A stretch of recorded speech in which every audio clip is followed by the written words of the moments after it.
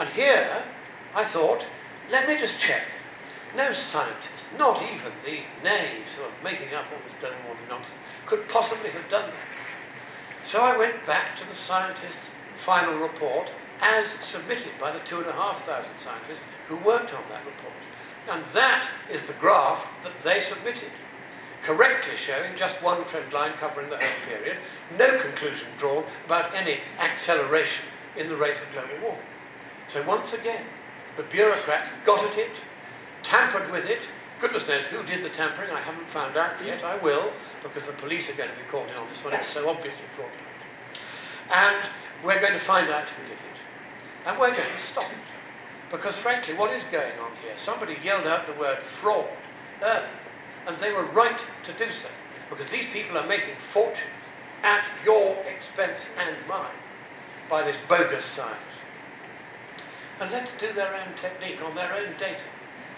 And let's show their own trend line for the last hundred years, which I've put in green this time. And then I've added my own trend line from 1905 to 1945, and that is twice as steep as the trend line from 1905 to 2005. Phew, global warming is calming down. well, of course, my conclusion is every bit as bogus as theirs. And because I can use the same data on the same graph the same technique, and yet produce a precisely opposite result, we know from that that the technique must be bogus. So then, what are they really trying to hide? And this is absolutely fascinating. What they're trying to hide is that the rate at which the world is warming is not exceptional at all. It's entirely within the natural variability of the climate, and there's absolutely nothing whatever to worry about. And they themselves have got a lot to worry about because they know this. They know it's not warming as fast as their predictions would have us believe. You saw from David there the chart of Hansen's first attempt at predicting how much warming there would be and how only about a third of what he predicted has actually come to pass. And that's roughly how it still is. And we're going to look at this in some detail because it's very important. Now here we have the same graph we've just looked at. This time I have added three trend lines, but these are correctly added because I was asking a single simple question, which is what is the fastest rate at which warming has occurred for more than 10 years at a time in the entire record measured by instruments? And there are three such periods. From Uh, 1975 to 2001, the most recent, the one we could have influenced, and two previous periods, neither of which we could have influenced and yet all three periods are at the same rate of warming, just 0.16 Celsius per decade, the equivalent of 1.6 Celsius per century, and that's the maximum rate. So then, let's do a little bit of going back further into history. What's the oldest temperature record for a region of the planet that we have? It's the Central England temperature record. It started in 1659. And between 17, 1695 and 1730, the rate of warming was almost 0.4 Celsius per decade for a third of a century. And that is three times the maximum rate of warming that we've seen over the last um, 155, 160 years. And that rapid rate of warming you're looking at now on the screen between the red and green arrows there, that rate of warming was before we had any SUVs to wreck the planet with. It was before the Industrial Revolution even began. It was a natural warming. Now you can say, oh, yes, uh, these were old thermometers, we didn't have Stevenson screens, and uh, maybe they weren't terribly accurate, etc., etc. However, can they, be, can they have been any less accurate than the temperature measurements from the ground that you've seen about in Jo's and David's presentation? They can't be any worse than that, can they? So what's going on? As David said, we're looking at perhaps a natural phenomenon causing the ups and downs in temperature that we see. And here is the plot of the weather uh, index known as the Pacific Decadal Oscillation. It describes a, a system of weather patterns over the Pacific. And you can see there is a superficial correlation. It doesn't prove causation, but what we can say is this, that the ups and downs in temperature, and therefore these steep rises in temperature that you see several times in the graph, these are not caused by CO2 because the CO2 is rising a little bit each year, very steadily upwards. whereas the temperature graph is jiggling up and down. And therefore, these jigglings up and down are not caused by the CO2, because absence of correlation necessarily implies absence of causation. The CO2 cannot have caused the temperature change, and the temperature change cannot have caused the CO2 change. They are independent variables, at least in this respect. There may be some underlying general upward pressure caused by the CO2. One would expect that. But these major fluctuations and rapid warmings, most of that can't be attributable to CO2, and that's how we know that it's very unlikely that most of the warming over the last 60 years was caused by us. And if we look at this mismatch here in the Arctic in particular, the CO2 curve, as you can see, very steady, going upwards all the time. Uh, and then you've got the temperature jiggling around all over the place. And you'll see it's a very bad fit.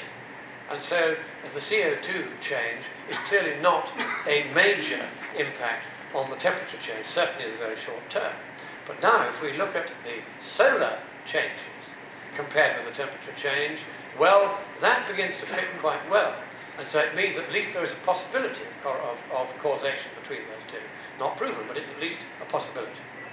And indeed, we can go back to Japan, where for a hundred years they've been keeping pyranometers, which simply measure how much sunlight is hitting the ground.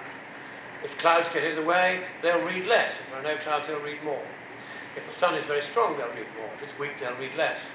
And here again, you see a rather spectacular correlation between these very accurately kept records over the last hundred years and changes in temperature.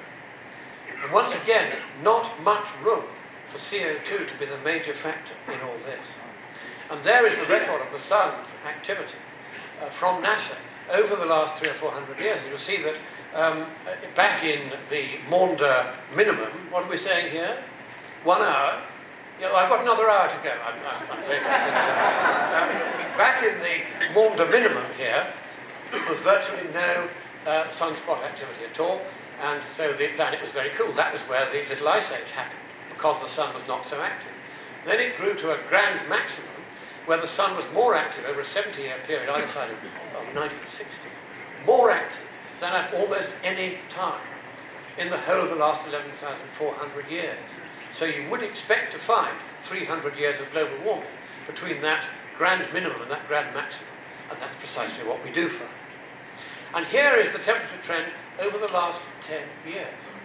And Professor Garnaut says of this, he says people like Monckton shouldn't produce this. They shouldn't show you this. That there's been no trend, no growth in temperature, no global warming for 10 years. He says that's a very puzzling thing for them to say. And I have checked with econometricians, and they have said that this is still consistent with a warming trend. Well, yes, of course it is, as we'll now see. Uh, of course, the other side the, the ClimateGate emailers are saying there has been no global warming for a decade. We cannot explain why it's a travesty that we can't. Well, hey, they're quite right there. It is a travesty that we can't.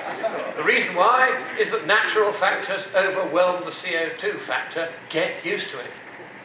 So, let's have a look at what is being done uh, by your own uh, record keeping. And here we find the actual record in blue of the temperature changes at Darwin Airport over the last hundred years.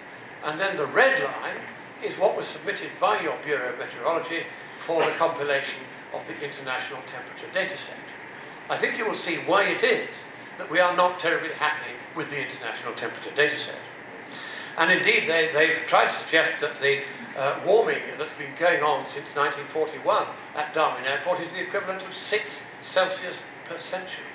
What planet are they living on? It certainly isn't this one. Or to put another way, what are they on? I want some too.